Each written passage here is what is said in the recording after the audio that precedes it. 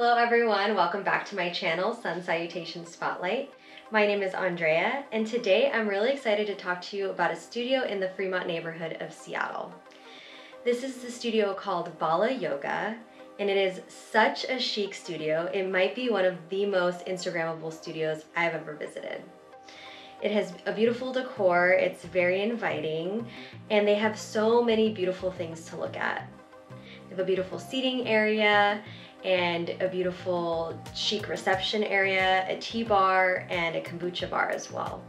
Another thing that I love about this studio is that the room that you flow in is actually very simple. It's all white walls, beautiful hardwood floors, a couple plants, and that's really it.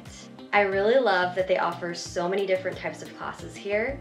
They offer yin and restorative, power vinyasa, back to basics. They also offer a couple candlelit classes, an ashtanga class. They have so much variety at the studio and so many wonderful teachers as well.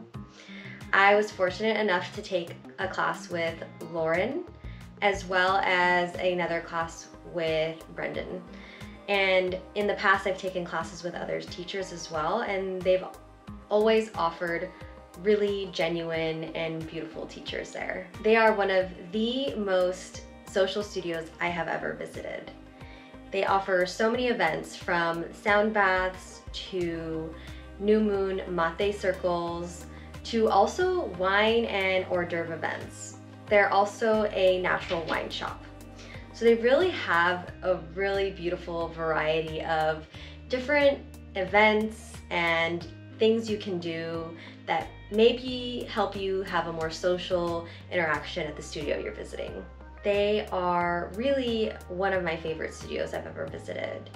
I really enjoy all the social gatherings that they offer as well as the bright students that come there. It's very friendly people are very social there. I really think that their focus on having in-person events that aren't just yoga really helps cultivate a beautiful and vibrant community at the studio. As far as COVID protocol goes, I did not need to present any vaccine status or wear a mask. Of course, right now, there is no mask mandate in Seattle, and TBD if that will stay the same or change in the future. So that's my full review of Bala Yoga. This is featuring their Fremont studio, but they also have two other studios, I believe one in Sammamish and another one in Kirkland. Thank you so much for being here. Please give me a thumbs up. Go ahead and subscribe to my channel below and ding the notification bell so you know when I have new content coming out. Pretty soon I'll be doing a video on the San Francisco area and I'll be visiting there sometime in a couple weeks here. So you'll be seeing those videos come out in July.